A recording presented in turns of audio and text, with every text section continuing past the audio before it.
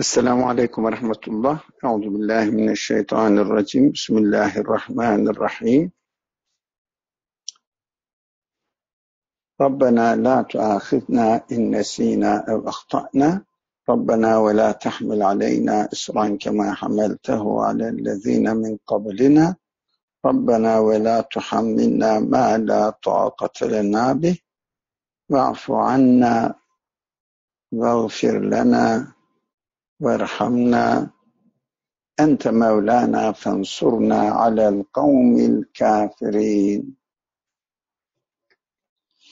وصل اللهم على محمد وعلى آله وأصحابه وأتباعه وسلم والحمد لله رب العالمين.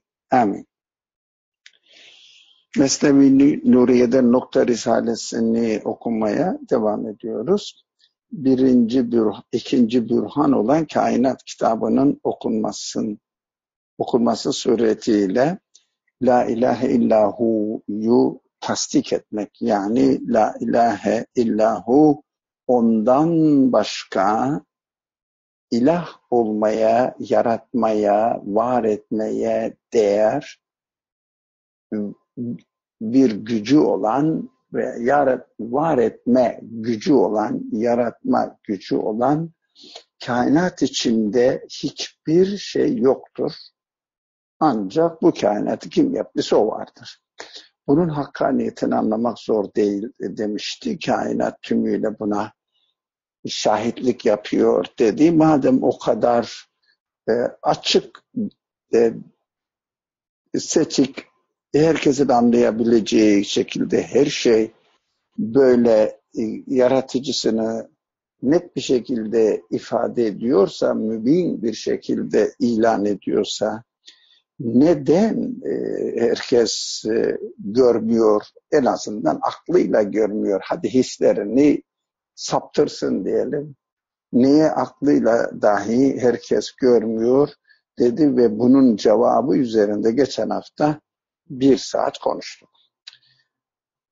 Şiddet-i zuhurundan dedik, zıttının ademinden, yokluğundan dedik. Bu ne demek üzerinde çok durduk. Geçen hafta tekrar oraya dönmeyelim. İsteyen arkadaşlar merak eden olursa, geçen hafta bulunmayıp da bu hafta sohbete katılmış olan olursa, geçen haftakileri, geçen haftaki kayıtları dinleyebilir. E, elhamdülillah mümkün. Peki şimdi şöyle yeni bir giriş daha yapıyor. Konu aynı konu ama artık o neden herkes aklıyla görmüyor efendim. E, kainatın yaratıcısının zıttının olmayışından dolayı yaratıcıyı e, hayal etmek, tasavvur etmek, anlamak mümkün değil. Ama insanlar yaratıcıyı anlamaya çalışıyorlar. Halbuki yaratıcıyı anlamak değil, onun es, e, zatını, varlığını, e, varlığının bir görüntüsünü vesaire görmek değil, bizim görevimiz zatıyla ilişkiye geçmek değil, zatının var olması lazım geldiğini onaylamaktır dedik. Kainatta böyle bir tasdike, onaylamaya bütün malzemesiyle şahitlik yapıyor. Bunun istisnası da yok. Şimdi oraya e, o konuya geliyoruz. Şu kitabın, kainat kitabının heyeti mecmuasında e, metinden okuyorum. Şu kitabın heyeti mecmuasında yani tümüyle birlikte parça parçasında nizamı gör, nizamı görmeden önce insan kainatın tümündeki nizamı görmesi çok daha kolaydır, mümkündür. Kainatın tümünde nizamı görmek. Neye? Her şey birbiriyle o kadar ahenkli çalışıyor ki her her bir şeyde de görülebilir ama daha zor. Fakat tümü birden mükemmel bir tarzda çalışınca mesela bir makine gibi makine diyelim bir otomobil olsun. Alıyorsunuz size diyorlar ki marşa bas seni istediğin yere götürür. Yine direksiyonu falan da sen ayarla istediği yere gitmek için hepsi ayarlı mükemmel.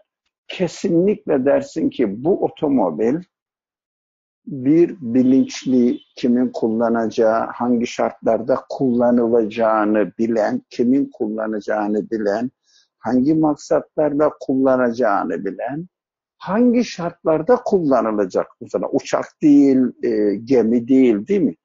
E, karada, yol üzerinde gidecek her şey bilinçli, kontrollü bir şekilde tanzim edilişinde anlarız ki bu otomobilin parçaları bu otomobilin yapıcısı olamaz. bunu anlamamak için e, insanın hiçbir engeli, mazereti yok. Anlarız bunu. Bizim e, problemimiz ka, e, kainatın tümüne bakmayıp parçalarına bakıyoruz. Mesela diyelim ki birisi otomobilin bir parçasını getirdi. Bakıyoruz bu neyin nesidir diyoruz. Bilmiyoruz, anlamıyoruz ya. O bir otomobil parçasıdır deyip de otomobilin tümünün çalışmasına göre o parça nerede görev yapıyorsa o görev yaptığı yere en mükemmel şekilde yapılmış, yerleştirilmiş, hazırlanmış bir parçadır. Planlanmış bir parçadır. Ama insanlar pratik hayatta bu kadar net bir şekilde her bir parçayı e, otomobilin tümüne göre değerlendirme yapmıyorlar. Parçanın kendine bakıyor, bu nedir diyor. İşte öyle olmuştur. Ve basite al, alabiliyor.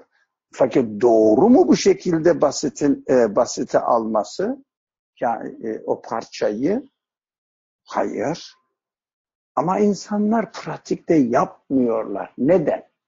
E, dini meseleler bizde zaten biz Müslümanız deyip geçiştirilen meselelerdir. Ben inanıyorum ya da inanmıyorum deyip geçiştirilen meselelerdir. İnsanlar kendilerine dert edinerek bunlar neyin nesidir, ben bu dünyada neden varım, nereden geldim, neye böyle bir varlık var falan diye düşündükten sonra araştırıp, sorgulayıp, üzerinde tartıştıktan sonra ulaşılmış bir tercih, bir karar olarak inanç gerçekleşmiyor. Gerçekleşemiyor değil. Pratikte öyle yapanlar çok az. O, genelde insanlar din işte Allah var diyorlar deyip geçiştiriyor. Zaten bunun da bereketi olur mu? Olmaz. Bence bir faydası da olmaz insana ama insanlar kendilerini eh ben dinsiz değilim diye kandırıp gidiyorlar. E, dinsiz değilsin doğru ama din, e, dinle ne kadar ilişkin var o da belli değil. Peki. Şu şu kitabın heyeti mecmuasında öyle bir parlak nizam var ki şimdi önce bizim dikkatimizi nereye çekiyor? Kitabın heyeti mecmuasına çekiyor. Ondan sonra parçaları bu heyetin mecmua içinde düşünmemize e, zemin hazırlıyor, imkan verecek. Ama önce bir heyeti mecmuayı bak bakayım mı diyecek.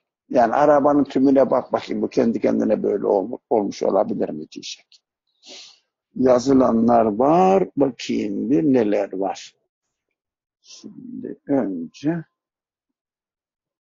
efendim birincisi de insan kainatın tümüne nasıl bakar? Genel olarak bakar. Tümünü kapsaması değil. Güneşi, ayı görmesi yeter. Güneş, ay, dünya, yıldız görebildiğimiz kadar birkaç gezegen bayağı ahenkli bir şekilde çalışıyor. Fakat şunu unutmamak lazım. Böyle kainatın tümü de Nursi'de de bu kullanılır. İşte tam ile falan diye kullandığı zaman istikrai tam mümkün değil falan der bazı sivri akıllı. E, yani istikrai tam onların kastettiği şekilde kullanmaz Nursi. Şimdi biz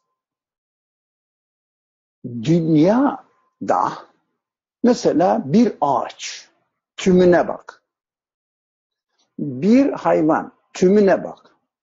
Hayvanın bir tüyünden veya bir e, etinden bir hücre alıp o hücrenin bir parçasını alıp o parça kendi kendine çalışıyormuş gibi görüyor. Böyle yapma. Tümüne bak. Dünyaya baktın değil mi? Dünya ile güneş ay ilişkisine bak. Diğer gezegenlerle olan ilişkiye bak. Artık ilkokul çocukları biliyor bunu. Öyle bir gezegenlerle birlikte bir sistem, güneş sistemi denilen bir sistem ki işte bu senin için bütünüdür. Sonra muhakemenle bilebildiğin kadar galaksinin içerisinde de bu sistem mükemmel çalışıyor. Sonra duymuşsun ki büyük, çok kapasiteli yani şimdiki şartlarda en kapasiteli e, mercek veya teleskop e, sahip olan laboratuvarlarda galaksiler arasında da dünya ve gezegenleriyle olan ilişkiye benzer ilişkiler var. Teleskoplarla gözlemliyorlar. Bunları da duyuyoruz. E şimdi bir, e, üç galakside gördük, beş galakside gördük. E kainatın tümü parçalanmadığına göre e, şimdiki durumuyla hepsinde neler varsa diyoruz, genelleme yapıyoruz. Neler varsa biri hakim cihinde çalışıyor. Bir insan arabayı sürer. Arabayı sürer. Bu soruyu soran arkadaş bu konuyu herkesten iyi bilmesi lazım. Arabanın bütün parçalarının tam bir ahenk halinde çalıştığının e, bilinçli bir şekilde şu parça şuna yarar, şu parça şuna yarar der mi? Demez. Ama bakar ki araba gidiyor, demek ki bu arabanın yapılışında bir sistem var ve bu sistem ahenk halinde çalışıyor. Her bir parçanın benim haberim falan da yok ama arabanın gidişatından anlıyorum ki parçalar birbirleriyle bilinçli bir şekilde kontak halindeler, yapılmışlar. Ee, diyeceğiz. Biz de kainatın tümünü gördüğümüzü iddia etmiyoruz ki olması gerektiği şu içinde bulunduğumuz güneş sisteminin mükemmel çalışmasından anlaşılıyor. Bu bir çıkarımdır, gözlem değildir. Kim neyi ne kadar gözlemler ki? Bir adam bir e, otomobil örneğini dönelim. Bir otomobili 50 yıl sürmüş olsun. 50 yıl bütün parçaların nasıl çalıştığını gözlemlemiş, e, gözlemleme garantisi verir mi? Hayır. Ama araba gidiyor işte. Yani bu genellemede bir hata mı var? Hayır yok. Neden? Arabanın bütün parçaları nelerse bilmiyorum ama işte böyle yürüyor olması, benim istediğim hedefe ulaştırıyor olması bu arabada ne gibi parçalar varsa ki ben bilmiyorum ne gibi parçalar varsa ki ben bilmiyorum ahenkli bir şekilde çalışacak bilinçli bir tercihin sonucudur derim. Bu hiçbir zaman insan kabiliyetine, muhakemesine zıt olmaz. Onun için Risalelerdeki, Risale-i Nur'lardaki istikrayı tammeyi bu bağlamda anlamak lazım. Ama bu biraz teknik. Bu konuda bilgisi olanlar için söylüyorum. İstikrar, istikrayı tammenin işte genel, mükemmel bir e, araştırma, tek tek tek inceleme anlamında kelime olarak. Kim tek tek inceler, kim bu işin sonunu getirir deyip de itiraz etmeye kalkma. Bak benim vücudum bir bütün halinde ne kadar parçalar varsa bir bütün halinde çalışacak şekilde bu parçalar yerleştirilmiş. Kim tarafından? Düşün. Bilinçsiz birisi tarafından olabilir mi? Tercih yapma kabiliyeti olmayan birisi tarafından olabilir mi? Bütün yani bir şeyin bütününün görebildiğimiz kadarıyla olan bütününün bir koştak uçuyor onun diyelim ki diyelim ki midesinde bir hücre bu bütünlüğün bir elemanı olarak kasıtlı bir şekilde yerleştirilmemiş diyebilir misin? Yoksa bu bütünlükteki ahenk olmaz ki. Bak bir kuş sana yeter. Evet. Kainatı da böyle düşünüyoruz. Tümünü kapsadığımızı söylemiyoruz. Peki. Sonra Emin'den sonra Demir diye bir arkadaş yazmış. Her parça aynı zamanda bir bütün değil mi? Evet. Neden? E, o par mesela diyelim benim vücudumda bir parmak var. Parmak bir bütün. Ama o parmak bir kolun parçası. Kol bir bütün. Kol bir vücudun parçası. Yani devam et. Devam edip insan muhakemesiyle ben kainat içinde ahenk halinde var edilen bir parçayım der. Kendime ait bütünlüğüm var ama kainatın içinde benim bir parça olarak kainatın tümündeki bütünlüğü, mükemmelliği ifade eden bir varlığım ben. Kainatın tümünde böyle bir ahenk olmasaydı benim varlığım ile kainat arasındaki ilişkide de ahenk olamazdı. Evet doğru ve her parça aynı zamanda bir bütün değil? Bu bir yönüyle başka bir bütünün parçasıyken diğer yönüyle kendisi başka parçalardan oluşmuş bir bütündür. Evet böyle bir bütün ve parça ilişkisi yani e, Risale okuyanların e, genellikle aşina oldukları cüz ve kül ilişkisi her zaman var. Ama cüz'i ve külli ilişkilik yoktur. Cüz'i ilişki olmadığı için. Çünkü her bir parça bütünün bir parçasıdır. Cüz'i değildir, küllidir. Onun için cüz-kül ilişkisi vardır, cüz'i külli ilişkisi yoktur. Ama bunun yokluğu külli yok demek değildir. Külli vardır, cüz'i yoktur.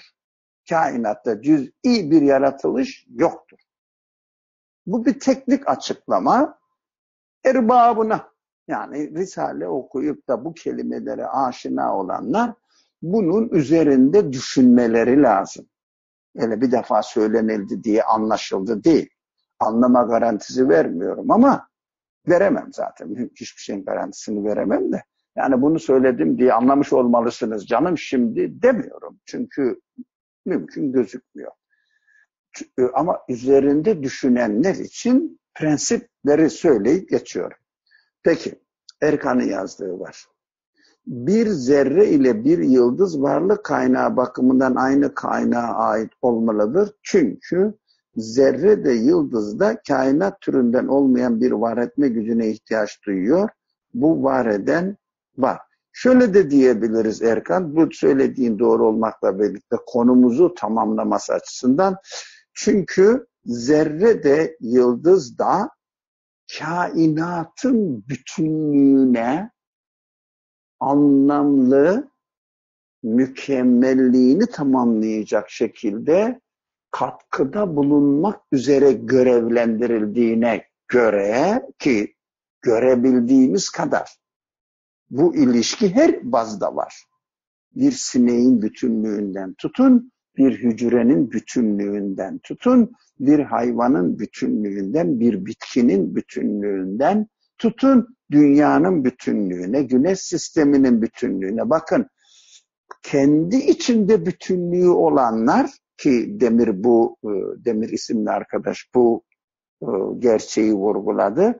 Kendi içinde bütünlüğü olan arka, e, olan her bir varlık kendinin dışındaki bir bütünlüğe de katkıda bulunmak üzere parça görevi yapıyor.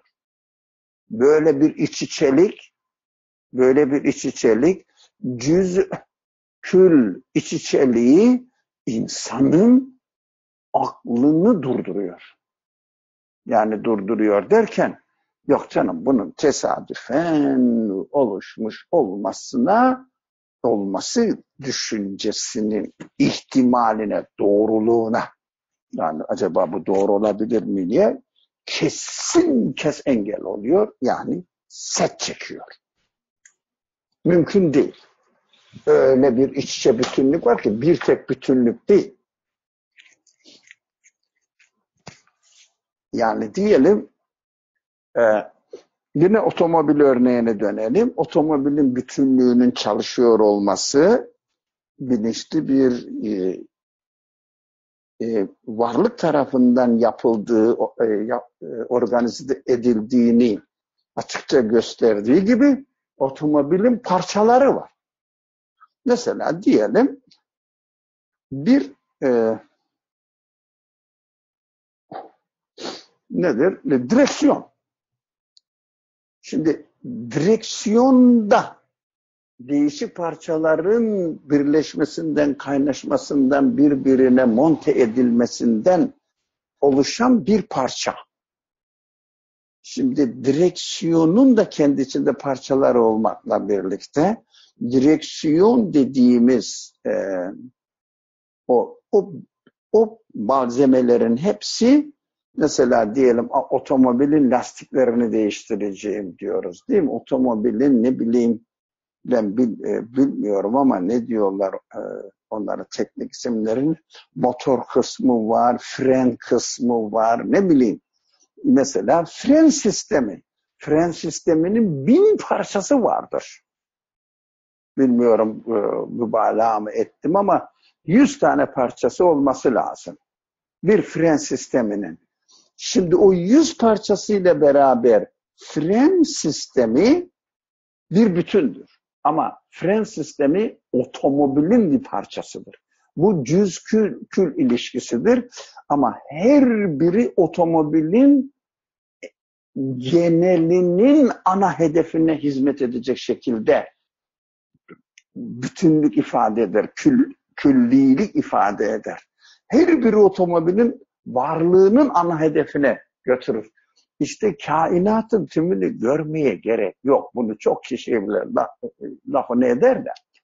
Kainatın tümünü gözlemlemeye gerek yok. Bir hayvanı gözlemle anlarsın. E, bir bitkiyi gözlemle o bütünlüğü gör anlarsın. Yok sen küçük dünyaya e, yani mikro dünyaya alışkan alışkın bir kişiysen bir hücrenin e, bir hücreyi Düşün kaç bin tane başka parçacıklar var onun için. Bir hücrenin içinde. Hücrenin bütünlüğünü anlarsın. Diyelim ki hücrenin bütünlüğünü kavradın. O hücrenin de bir organın parçası olduğunu düşün. Yani zaten öyle. Bakıyorsun ki kendi içinde bütünlüğü olan hücre yine kendisinin dışındaki bütünlüğü olan bir organın diyelim kalp kalp organının cüz'üdür. Bu ne, neye delalet ediyor? O hücrenin parçacıklarını kim hücre olacak şekilde tanzim ettiyse o benim çalışmadığım, incelemediğim diğer hücrelerle birlikte bakın incelemediğim diyorum. İstigrayı tammeyi e, doğrudur anlamak lazım felsefedeki kullanmış şeklinde ki zaten o kullanılmış yanlış. E, ama onu tutup da Risale okumalarına monte etmeyin. Öyle çok çabalar da gördüm de onun için söylüyorum. Ben diğer kalbin diğer hücrelerini kalpte yalnızca bir tek e, hücre yapısı yok ki. Bunun e, zar kısmı var, e, içerisinde e, damarlar var. Damarların dış kısmının hücresi ayrı, iç kısmının hücresi ayrı. Ya binlerce değişik hücre yapıları var orada. Oradan anlıyorum ki insanın tümünü görmesem bile bu organ bir bütünlük teşkil ediyor, çalışıyor ya. Ha, bu organın parçaları da kendi içinde bir bütünlüğü var. Demek ki bunların hepsi, diyelim ki biz insanın tümünü görmüyoruz. Bunların hepsi bir nihayetinde bir bütünlüğü olan varlığın parçacıklarıdır. Parçalardır ama külle aittirler, küllidirler. Kendi başlarına bağımsız cüz'i parçalar, hiçbir diğerleriyle ilgisi olmayan tek başına orada bir, bir parça var. Böyle bir yaratılış örneği kainatta insanın görebildiği kadar e, alanda yok. Olamaz da çünkü benim görmediğim yerde olabilir mi? Olamaz. O zaman kainatın bütünlüğün sistemi bozuk olması lazım. Bütünlüğün sistemi bozuk olursa e, insan canlı olmaz veya yaşamaz. E, ne olur? Çürür. O zaman kalp de yaşamaz. O zaman kalpteki bir hücrede yaşamaz. Yani mükemmelliğini koruyamaz. Bu şekilde e, insanın tümünü çalışmadan bir hücreyi ve o hücrenin bir organdaki yerleşim şeklini görmek yeter. Denir ki insan denilen şey neyse ben bilmiyorum diyoruz da çok küçüğüz insanı görmüyoruz. Yalnız e, kalpteki bir hücreyi görüyoruz. İşte bunun tümü böyle mükemmel olması lazım. Hep her bir parçanın bunu çok iyi anlamak lazım. Risale-i Nur'un veya tevhid dersinin en önemli kavramlarından birisi cüz'i külli kavramıdır. Bunu iyi anlamak lazım. Eğer benim çalıştığım hücrede bir cüz'ilik özelliği gördüysem yani bu külle ait değil. Kendi başına bir şey burada. İşte o zaman kainatın tümünde mükemmellik var diyemem. Cüz'i parçalar var. Bilmem ki cüz'i parçalar bir yerde de belki de bozukluk yapıyordur.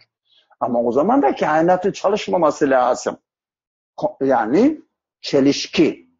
Demek ki kainatta cüz'i yoksa otomatikman her şey küllidir. Her şey külli ise kainatın küllü, bütünü mükemmeldir. Çalıştı mı kainatın bütününü? Hayır. Bu, bu tür argüman çok kuvvetli bir argümandır. İnsanlar cüz'i külli ayrımını doğru dürüst yapmadıkları için kainatın tümünü incelemeyen, kainatın tümünün mükemmel bir varlık olduğunu söylemeye hakkı yoktur derler. Neden? Ee, o kavram kargaşalığından diyeyim, kavramların yeterince yerinde kullanılmayışından. Ee, evet, o Erkan otomobil örneğinde şanzıman sistemindeki dişler kendi aralarında deveran ederken otomobilin hareketine hizmet ederler. İşte konumuz bu Erkan. Şuna dikkat et. Şimdi dişlilerin kendi aralarındaki e, deveranını kurtar, kuracak şekilde şanzımanın dişlilerinin kuracak şekilde bir bütünlüğü var mı? Buna cevap ver. Var mı yok mu? Bir bütünlük teşkil ediyor mu? Yani şanzıman sistemi kendi içinde bir bütünlüğü var mı? Bunun cevabını kim verir? Otomobilciler, hadi Mehmet Emin, Erkan sen bilmem Mehmet Emin'in söylemesi lazım. Emin'in söylemesi lazım.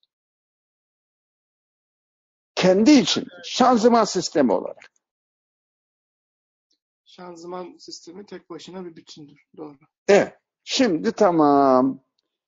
O bütünlüğü olan şanzıman sistemi otomobilin içerisinde çalışırken neler varsa otomobilin diğer parçaları gaz e, çalışması var, motorun işte dört zamanlı neyse kaç pistonu varsa varsa varsa varsa tekerler var, bilmem ne adlarını ben bilmiyorum.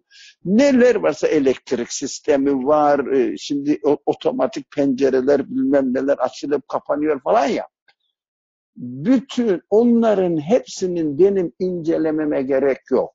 Şanzıman sisteminin kendi içindeki bütünlüğünü eğer ben kendisinin dışındaki bir başka şeylere uygulamaya kalkarsam, bak şeyler diyorum bilmiyorum çünkü. Hepsini incelemedim ya çünkü kainatın tümünü inceleyemememize rağmenin örneğini çalışıyoruz. Bütünlüğünü görmeme gerek yok. Şanzıman sistemi arabanın içerisinde mükemmel çalışıyorsa bu ne demektir? Şanzıman sistemi otomobilin tümünün bir cüz'i e, bir külli parçasıdır. Yani o otomobilin tümüne ait olan bir parçadır. Cüz'i değildir. Dikkat edin. Ha, o zaman şanzıman sistemi otomobilde çalışıyor gördüm. Otomobilin diğer bütün parçalarının nasıl olduğunu bilmeme gerek yok. Bu otomobilin bütününde bir mükemmellik var ki şanzıman sistemi düze, düzgün çalışıyor. Şimdi pratik hayat aman efendim mesela tekerler patlak olabilir falan dediği zaman şanzıman sistemi çalışmaz ki araba gitmez öyle diyelim. Veya gider de patlak teker üzerinde gider. Yani o bizim istediğimiz mükemmellikte gitmez. Beklediğimiz mükemmellikte gitmez. Ama araba mükemmel çalışıyor. Yalnız ben şanzıman sistemini biliyorum. Bu önemli bir unsurdur. Bütün parçalarının tek tek mükemmel olduğunu ve arabanın tümünü de gözlemlemem gerektiğini söylememe, görmeme gerek yok. Şanzıman sisteminin düzgün çalışması yeter. Mükemmelliği anlamak için, bütündeki mükemmelliği anlamak için. Evet bu, bu konu çok derin e, yani çok üzerinde konuşulması gereken bir konu derin derken. Çünkü biz böyle bir kainat anlayışı e, eğitiminden geçmiyoruz da onun için. Peki konumuza döneyim ben şimdi artık yeter bu konu diyeceğim. Diyor ki şu kitabın heyeti mecmuasında öyle parlak bir nizam var ki bunu konuştuk.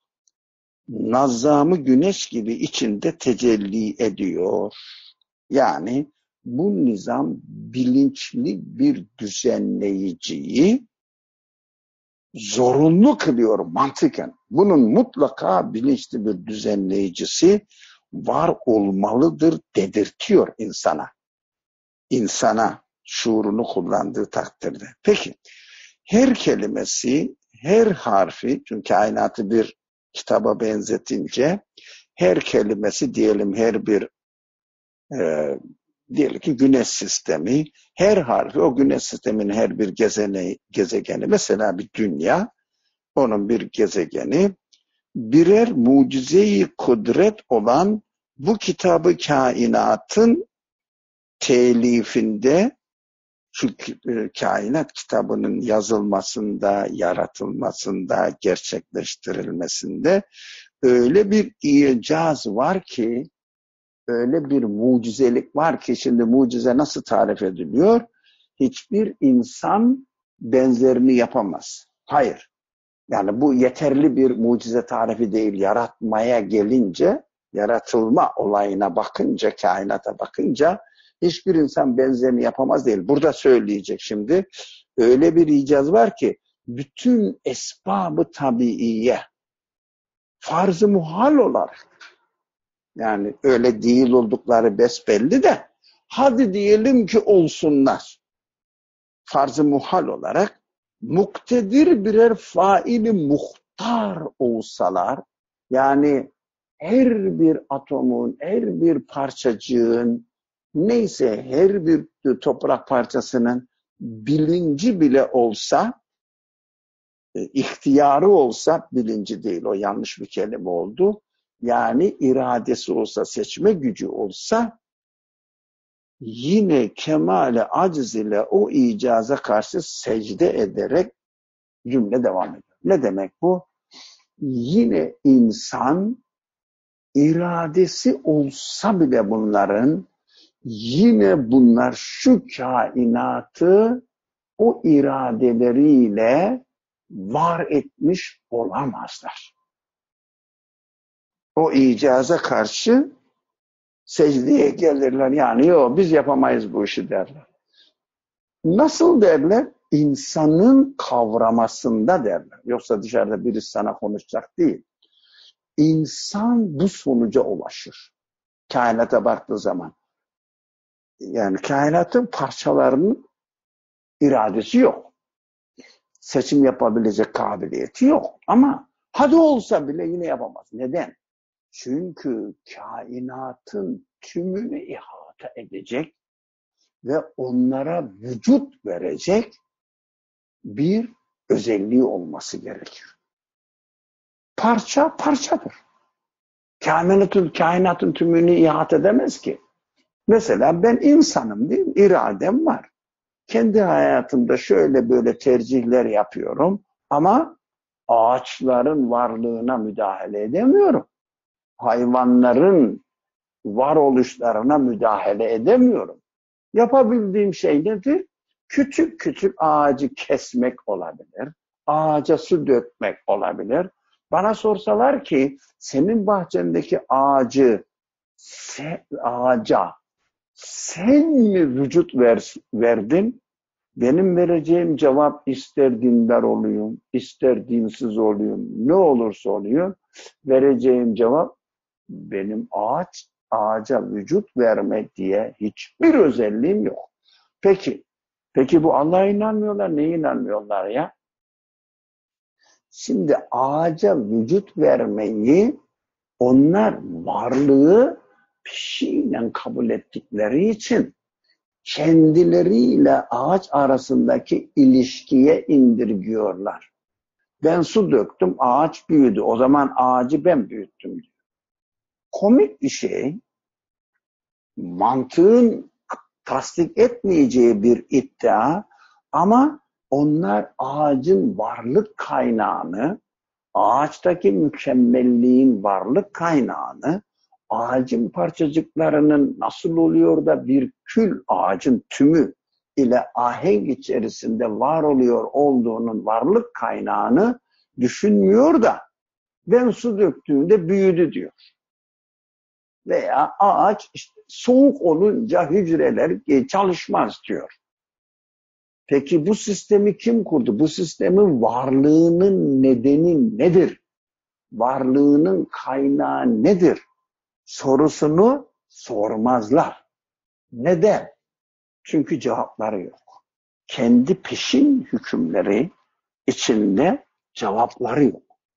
Çünkü kainatın varlığının kendi kendine oluştuğunu söyleyip geçiştiriyor adam. E böyle bir insanın cevabı olmaz bu soruya. Kendi içinde var olmuş diye. Ne yapacak bu sefer? İşte ısındı, soğudu, e, sıcak soğuk ilişkisinde rüzgar oldu gibi yorumlar yapacak. Bunların varlık kaynağı üzerine konuşmayacak. Şuna, şunu her zaman söylüyorum, tekrar edeyim. Çünkü her zaman bu konu her bir bilim dalında en ciddi konudur ve üzerinde hiç durulmayan bir konudur.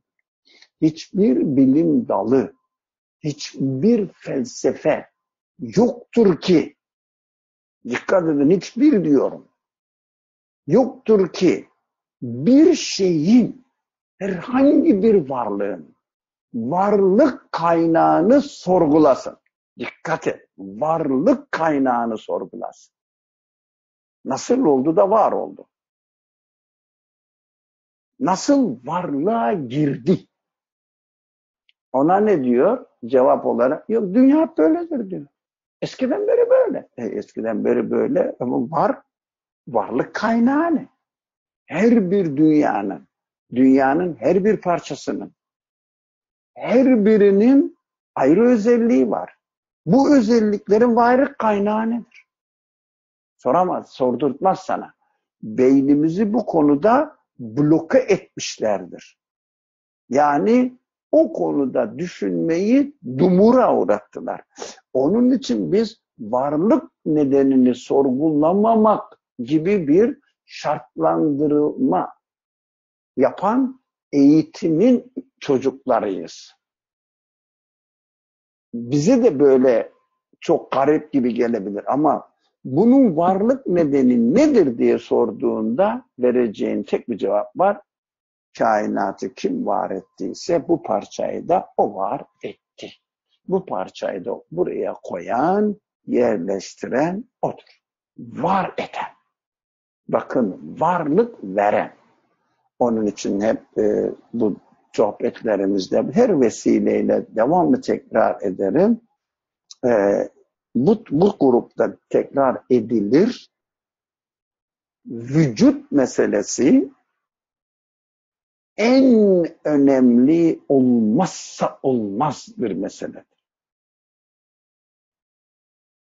Ma, e, inanmak istemeyenler, yaratıcının varlığını itiraf etmek istemeyenler yalanlamaktır Kur'an ona. Yalanlıyorlar, tekzip. Yükezzibun. Veylül lil mukezzibin.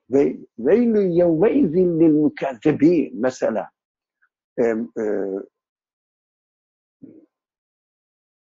Murselat suresinde on defa tekrarlanır. Yani hepsi 200 sayfalık bir sure.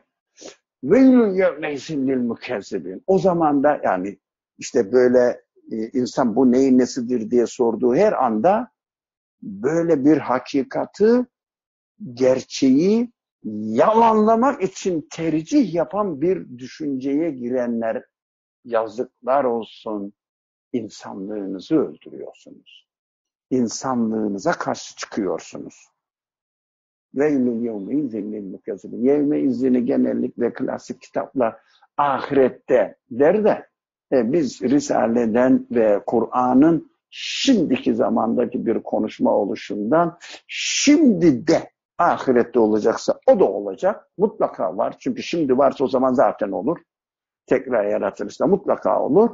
Şimdi ben ne zaman yalanlamaya kalkarsam yani inanmamayı kendime, yaratıcının varlığını, ihtimalini kendime yasaklarsam, yok yok yok öyle bir şey olmadan ben dünyanın varlığını açıklamam lazım dersem, işte o zaman bir hakikati göz göre göre yalanlayan olurum. Ondan sonra ne dersen de fark etmez. Çünkü söylediğin her şey anlamsız olacak. Çünkü esas meseleyi kaçırdın. Peki arkadaşın yazdığı var. Bu ilişkiler ağını düşününce insanın aklını durduran bir komplike sistemle karşı karşıya kalıyorsun. Büyük resmin tamamına bütün ilişkiler ağıyla bakınca ortaya insanın acziyeti ve yaratıcının mutlakiyeti sonucuna varıyorsunuz diyor.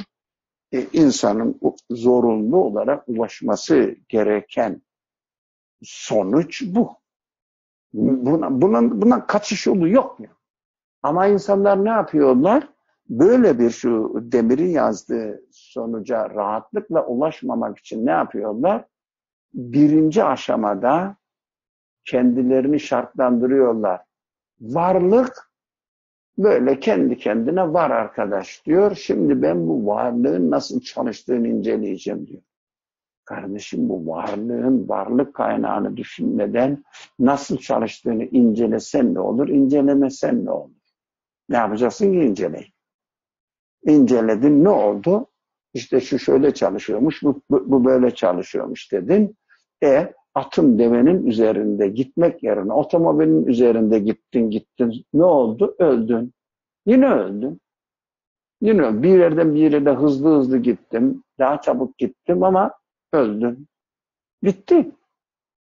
Bakın varlığımız anlamsızlaşıyor.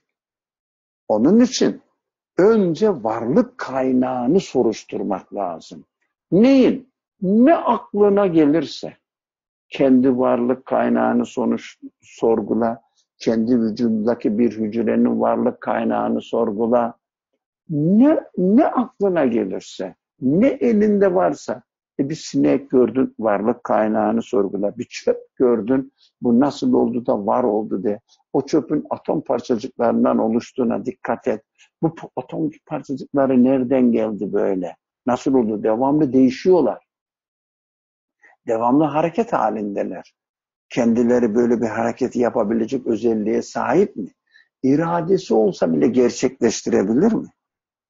Mesela insanın da iradesi var ama kendisinin dışındaki aleme müdahale etmesi işte en fazla yapabildiği nedir? Eline bıçağı alır ya da silahı alır birini öldürür. İşte yapabildiğimiz bir durum o. Birine hayat verecek değiliz ya. Öldürürüz, ağacı keseriz, o otları, e, böcekleri e, chemical madde kullanarak, kimyevi madde kullanarak yakarız, öldürürüz. E, bizim yaptığımız şey böyle tahribattan ibaret bir şey. Vücut vermek mümkün değil.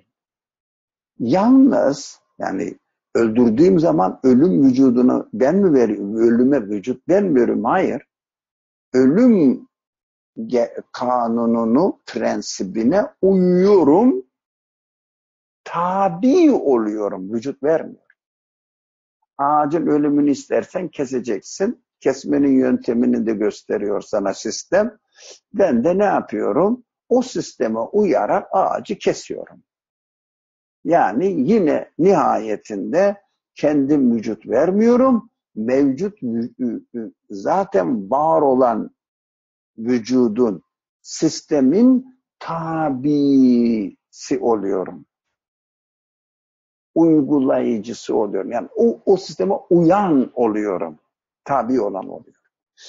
Öyle insan iradesiyle dahi bir iradesi varken dahi hiçbir şeye vücut veremez. Dolayısıyla kainatın her bir parçası da kendisi ben hiçbir şeye vücut veremem diye gözümüzün önünde bağırıp duruyor. Onun, onun için bütün parçalar şunu söyler diyor. Yani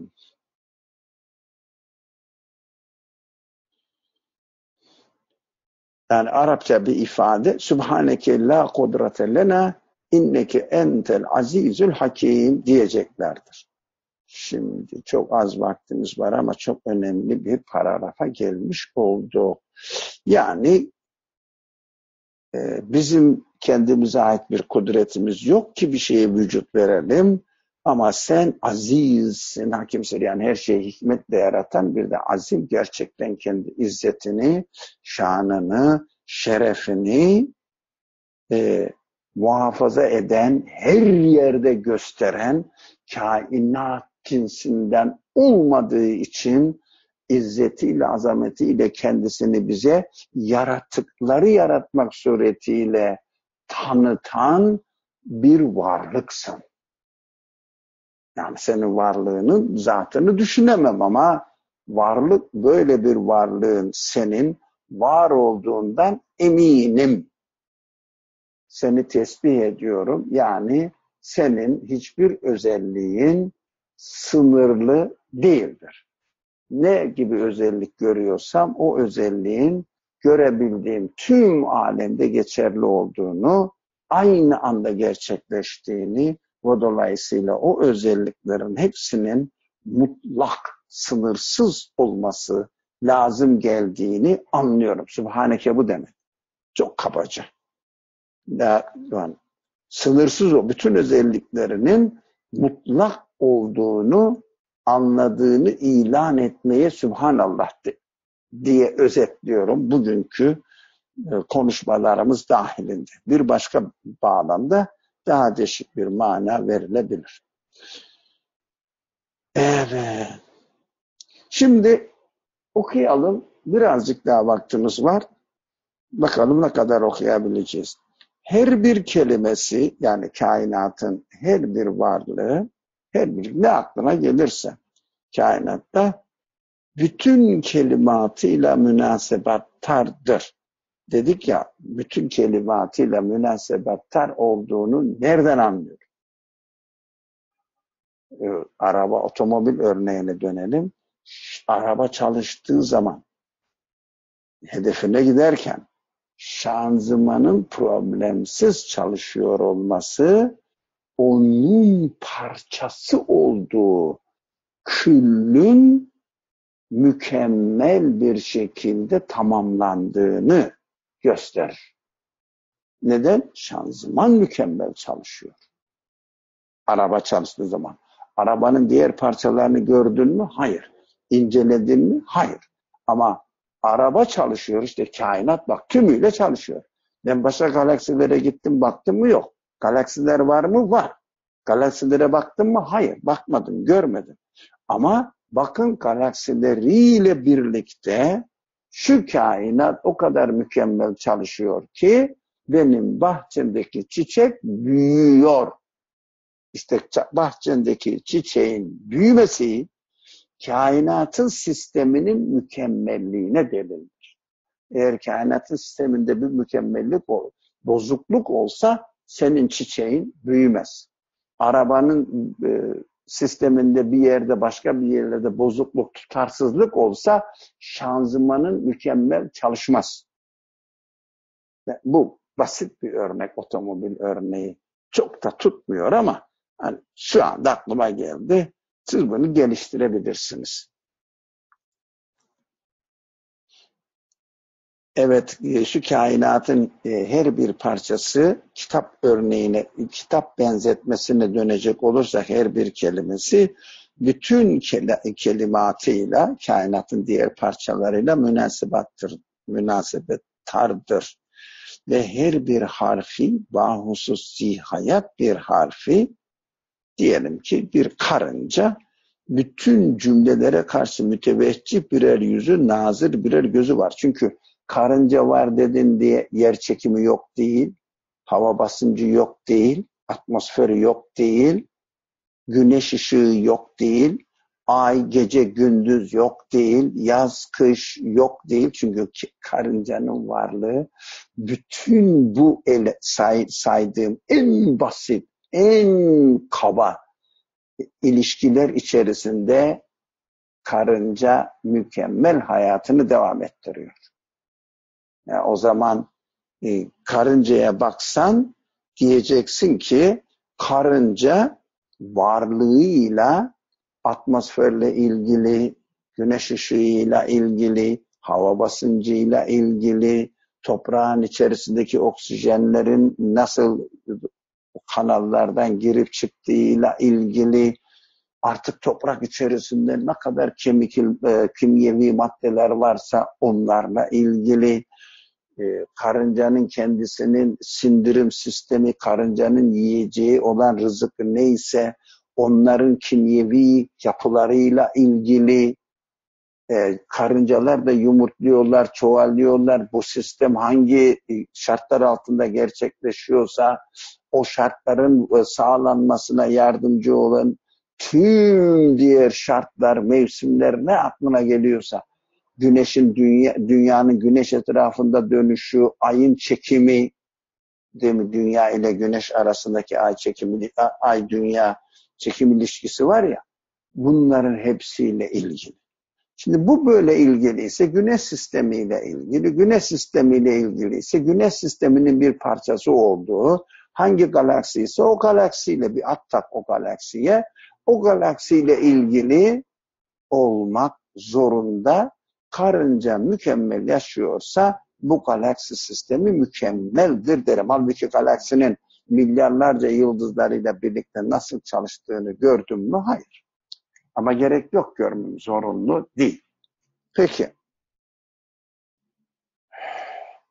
Her bir harfi bahususi hayat bir harfi bütün cümlelere karşı müteveccih birer yüzü, nazır birer gözü var olan bu kitabın yani her biri bir kitaba bakın. Kitapta diyelim ki bir yerde bir i harfinin çizgisinin üzerindeki nokta var ya o nokta I değil de i. Anlıyorsun ki o kelimeyi bilen birisi yazmış. Peki o ı değil de i. Kitap değil de kitap. Bak o nokta. Ne diyorsun? O kelime, kitap kelimesi veya bir başka kelime söyleyin. E, üzüm, uzun değil, üzüm. Değil mi? Noktalar var orada. O noktalar. Şimdi Orada üzüm yazdı. Adam uzun değil, üzüm yazdı. Nokta koydu. O noktanın varlığı o kelimenin üzüm olduğunu bilen birisi tarafından o nokta kondu. Sonra anlıyorsun ki o üzüm kelimesi bir cümle içerisinde yer, görev yapıyor. Sonra biraz daha genişletince o cümle bir paragraf içerisinde anlam kazanıyor. Buradan anlarsın ki o kitabın her bir bölümü kendi içinde mükemmel iken her bir bölümden, her bir bölümün 1, 2, 3, 5, 6, 7 diyelim 10 bölümden ibaretse 10 bölümün hepsini okumasan bile dersin ki bu kitabın bütün parçaları birbiriyle ahenkli haldedir. Üzüm kelimesindeki ü kelimesine noktayı koyan kitabın tümünü bilendir dersin. İnsan muhakemesi böyle çalışır. Evet. Bu kitabın öyle bir muzaaf-ı iştibakı tesanüdü nazmı vardır ki yani birbirine bağlı, birbirine şebeke halinde iç içe girmiş muzaaf demek katmer katmer katmer katmer iç içe girmiş bir dayanışma içindeki o düzeni vardır ki bir noktayı yerinde icat etmek için bütün kainatı icat edecek bir kudreti gayrı mütenahi lazımdır. İnsan muhakemesi söylüyor. Yani bir noktayı görmek için üzüm kelimesinin o ü harfinin bir noktasını koyabilmek için o kitabın tümünü bilen birisi o parçayı yazdı, o parçaya bu paragrafı koydu, o paragrafta bu cümleyi yazdı, o cümlenin içerisinde üzüm kelimesini o yazdı, üzüm kelimesinin üsünün noktasını da o bütünlüğüyle ilgili olacak, ahenk sağlayacak şekilde o yerleştirmiş olması lazım. Diye insan birkaç aşamalı bir o uzun kelimesi Türkçe yazılmış bir kitapta anlamsız. Böyle bir şey yok. Onun için üzümü niye yazdı diyorsun. Üzümü bir cümlenin içinde buluyorsun. Ha diyorsun. Şimdi ü kelimesi kendi içinde ü harfi kendi içinde mükemmel bir harftir. Üzüm kelimesi kendi içinde mükemmel bir kelimedir. Üzüm kelimesinin içerisindeki buldu, bulunan cümle kendi içinde mükemmel bir cümledir. E, devam et. Paragraf da öyle. Kitabın bölümleri de öyle olması lazım sonucuna ulaşırız ki o üzüm kelimesi kelimesinin o cümle içerisindeki ahe, manasını tamamlayan bir cümle oluşundan çıkartıyor. Demek sivrisineğin gözünü halk eden güneşi dahi o halk etmiştir. Nereden anladım? Güneşi gidip inceledim mi? Hayır. Nereden anladım? Sivrisineğin güneşin ışığına ihtiyaca göre yapılmış olan sivrisineğin gözü güneşle olan ilişkisine göre yapılmış olan sivrisineğin gözündeki mercek yapısı bana diyor ki sivrisineğin gözünü kim yaptıysa güneşi de o yapmış, tanzim etmiştir, düzenlemiştir. Peki benim e, internet e, bağlantımda zayıflık var diyor. Aniden kesilirse inşallah e, tekrar bağlanmaya çalışırım. Ama bitiriyoruz şimdi. E, pirenin midesini tanzim eden Manzume-i Şemsiye'yi de o tanzim etmiştir. Bu çok e, referans verilen bir cümle. Pirenin midesini kim düzenlemişse güneş sistemini de o düzenlemiştir e, sonucuna ulaşıyoruz. Nereden güneş sisteminin tümünü kim çıkıp da inceledi? kaç kişi bu sistemi teleskopla takip etti ve oradaki mükemmelliği gördü? Hayır. Çok kişi yok. Öyle. Ama gerek yok. Anlıyoruz değil mi? Gerek yok. Güneş sistemine. Neden? E, pirenin midesinin mükemmel çalışması o mideye giren herhangi bir rızık maddesi neyse pire yiyorsa o yediği şeyin bir bitki parçası mıdır, bir hayvanın e, e, hücresinin bir parçası mıdır her neyse onun o mideyle ahenkli halinde çalışması pirenin midesini tanzim edenin mevsimlerin sistemini, o mevsimler içerisindeki yaratılan hayvanların ve bitkilerin mükemmelliğini garanti altına alıyor. O zaman güneş sistemi, güneş sistemi kesinlikle kürenin midesi mükemmel çalıştığı için güneş sisteminin mükemmel çalışıyor olduğu sonucuna ulaşırız. Güneş sistemi mükemmel çalıştığı için galaksinin o sistem bir, bir daha mükemmel olan büyük bir sistemin parçası olunca o sistemin kendisinin mükemmel çalıştığını mantıken anlıyor ve tasdik ediyoruz. Burada susalım. Ben susuyum. Siz konuşmak istiyorsanız buyurun. Ee, inşallah bu cüzden külle geçişi ve her bir cüz'ün külli oluşunu anlamak lazım.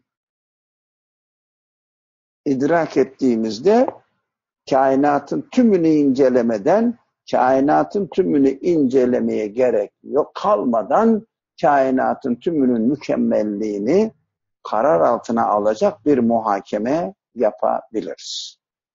Bu çok insana kolaylık veriyor Efendim ben kainatın tümünü incelemedim. Ne bileyim ki belki başka bir yerde bozukluk vardır e, diye gelen vesvesenin aslı, esası olamaz. Peki. Arkadaşlarımdan söz hakkı almak isteyen, yazmak, çizmek isteyen var mı? Yok. Vaktimiz doldu. Yarın Allah'a emanet olun bugün için ve yarın tekrar görüşelim inşallah. Böyle imani tefekkürleri paylaştığım için ben çok memnunum. İnşallah siz de memnunsunuzdur. Yarın altı buçukta münazarat ve sekizde dokuzda mı? Dokuzda dokuzda evet. Da mektubat dersimizde buluşalım inşallah. Bismillahirrahmanirrahim. Subhaneke la ilme lena illa ma allemtena inneke entel alimul hakim. وآخر دعواهم أن الحمد لله رب العالمين بحرمة سر سورة الفاتحة